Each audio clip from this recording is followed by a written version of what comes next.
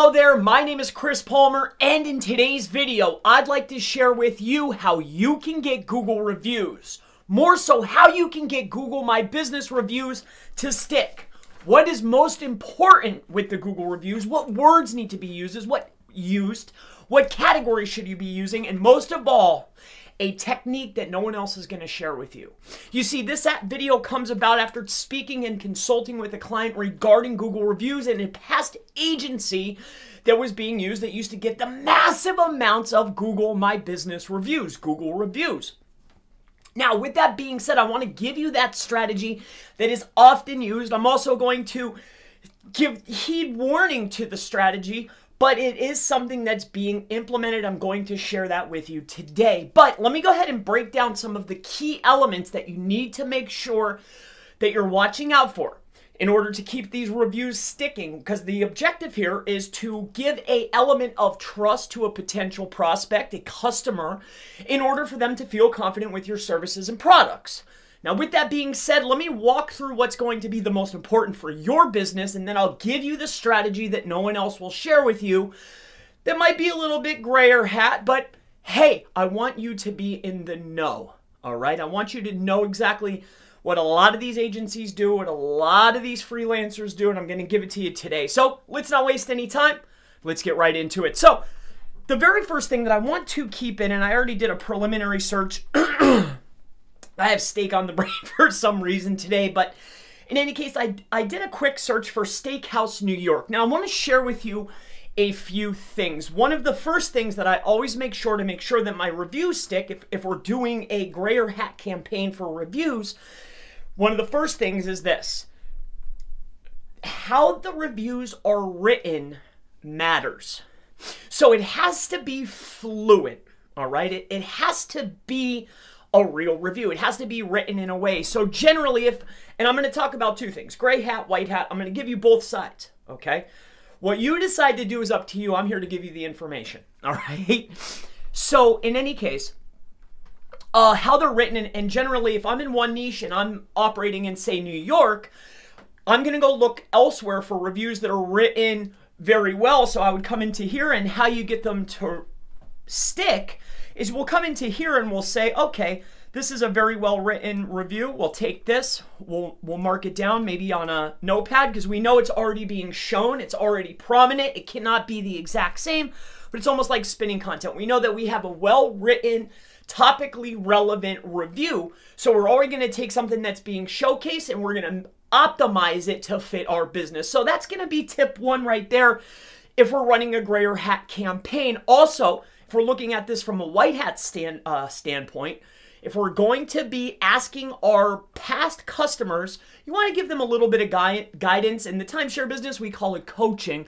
You're going to want to go ahead and coach them exactly what maybe they should be writing, or at least something similar. So that's going to be tip one. Let's keep moving on. So the next thing is this.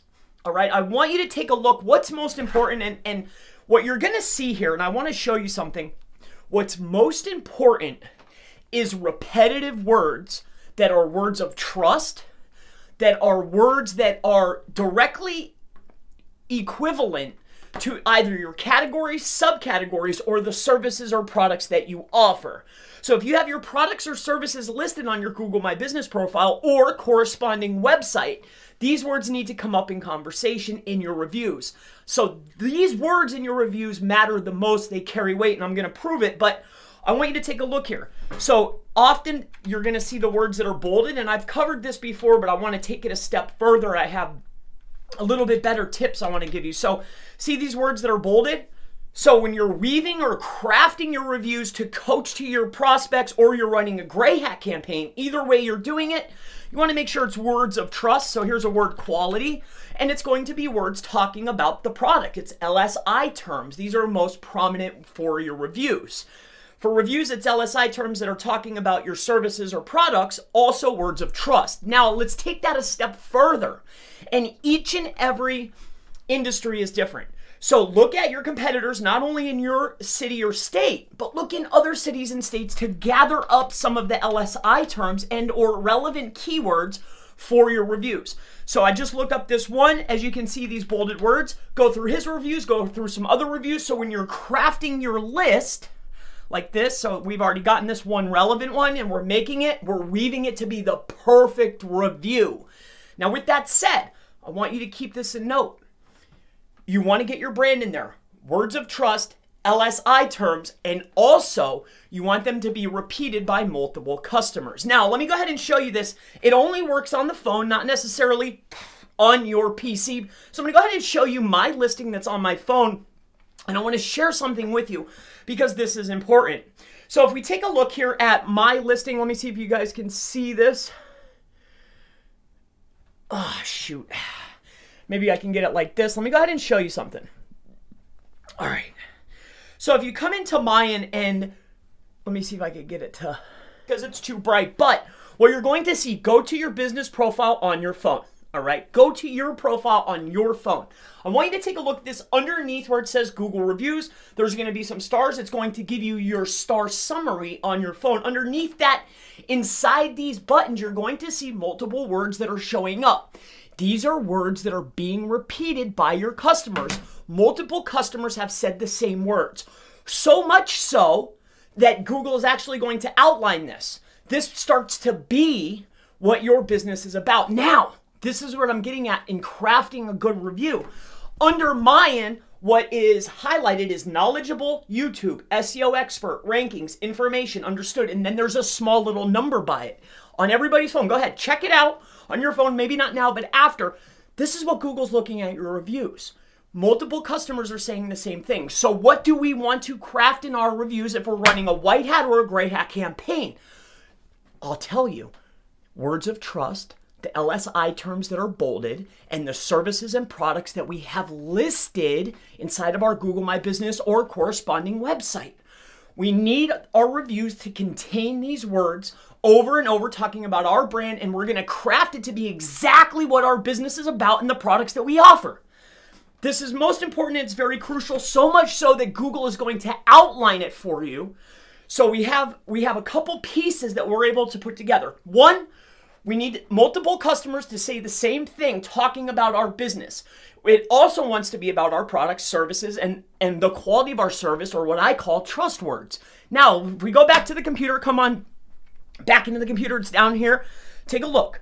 So, again, I want you to remember the LSI terms stand out. These need to be in your reviews, they also need to be well written. So, if gray hat or white hat, you can coach your customers or if you're doing a gray hat campaign, what I would highly recommend is going to get one that has already been showcased within Google. Take that, add in your LSI, words of trust, and also make sure that it's repetitive for your products, services, and what you offer, and make sure it's repetitive for trust words. All right, I think we covered that. Let's get into a strategy now. I have to, I want to tell you this. All right, when we're talking about reviews, it's a, it's a touchy subject. All right you know, give me one second. Let me turn my light back on. Give me one second. Got a new light. I really like it. I got it used, you know, but I really, really like it. It's really cool. My daughter likes to use it for her makeup. She's down here.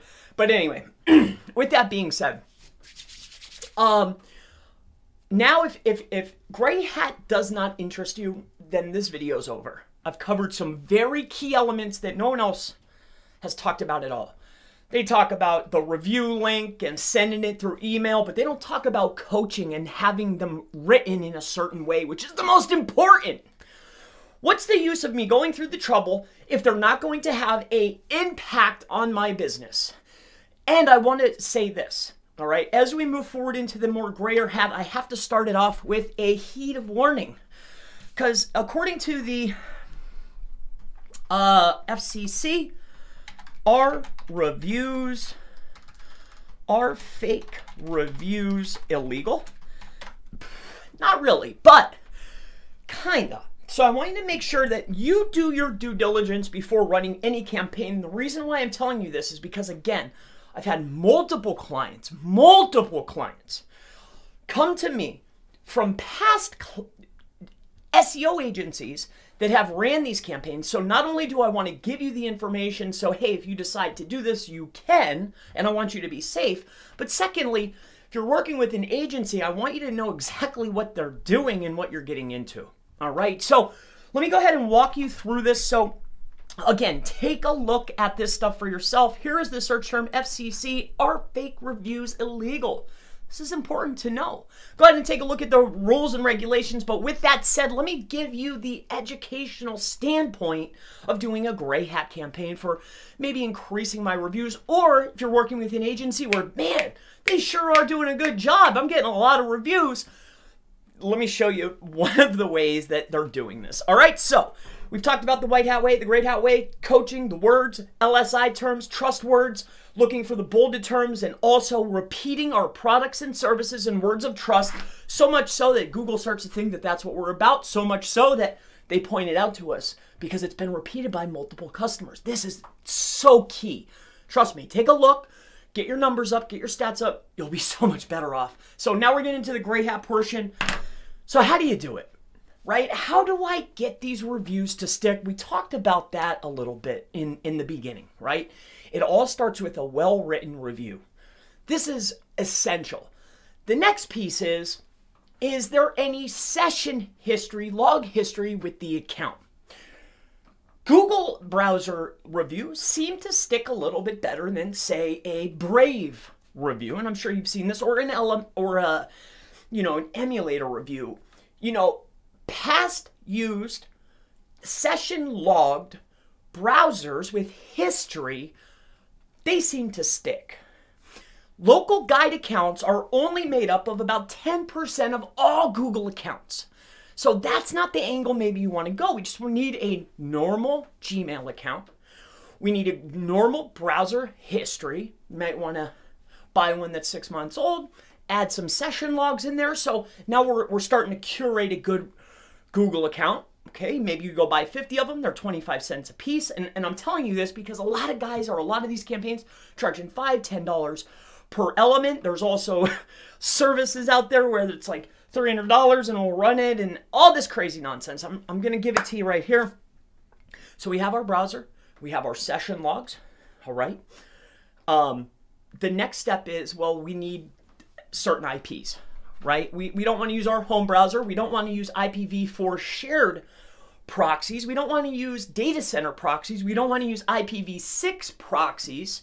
Mobile proxies are cool, but they're kind of expensive. So, what's our best option for getting a mass number of IPs at a very fair price? Well, the best thing that I have found is what I'm looking for is a service such as this. So, Rapid VPN, I'm not promoting them by any stretch of the imagination. This is just one. There's bunches of them. But what they offer, if you take a look here, here, Rapid VPN, this is residential uh, VPN. You're looking for res. Here, take a look at Rapid. So, this is one that I have used in the past. I don't recommend their service. I'm just showing it to you, right? Um, residential whitelist IP from Verizon, Century, residential IPs through a VPN seems to be the most cost effective way to have residential home people leaving reviews on session log history browsers written naturally because we've already gotten them from another business in a different state added words of trust added in our key element. all right, we're, we're, we're crafting the review to actually be worthwhile, not only from a sticking standpoint, from all, but also from a quality standpoint and a way to lift our business. So if we take a residential IP, and then we're looking for a phone verified account, GMB, right? You know, have your have your look. Uh, generally, maybe it's like a PVA account right? Uh, I don't know, PVA Google accounts, right? Phone verified account. Uh, this is one, it looks like a crappy site, but this is one I've used. Yep, I've used this dozens and dozens and dozens of time. Go with the cheapest. So now I have my Gmail accounts. They're six months old. I use them for a little bit. Right? I'm I'm getting the log history up so I can get a decent account. I go and gather up my reviews reviews that could be used as either a way to coach white hat people who actually used my service. I say, "Hey, something like this." Or if you're gray hat, you can use that. We know from looking that Google is valuing multiple people saying the same thing. What I have found from other businesses is I don't want them just repeating the same thing, but I want them to be repeating my services, my products, words of trust, and my brand name all multiple times. And aside from that, within the reviews, I'm also utilizing again words of trust and also LSI terms. This is going to help you achieve more reviews faster, cheaper, easier. Um, and, and, and I just wanted to share with you what these agencies do, what you're paying for a lot of the times. This is how it's done. And I also wanted to point out that, hey, go and look at the regulations, you know, eh, um, to see if I, I'm just point I'm just giving you the information. All right. So that's going to wrap up today's video. I hope that this has been helpful for you. I hope that maybe it has opened your eyes if they've been shut. I hope that it's given you ideas and opportunities. My name is Chris Palmer. If you have any questions related to Google My Business, Google My Business reviews, local SEO, digital marketing, Facebook ads, white hat, gray hat, black hat, it doesn't matter. If it's digital marketing or business related and you have a question, feel free to ask in the comments below. And I most certainly look forward to seeing you in the next How to Get Google Reviews, Google My Business video. Have a wonderful day.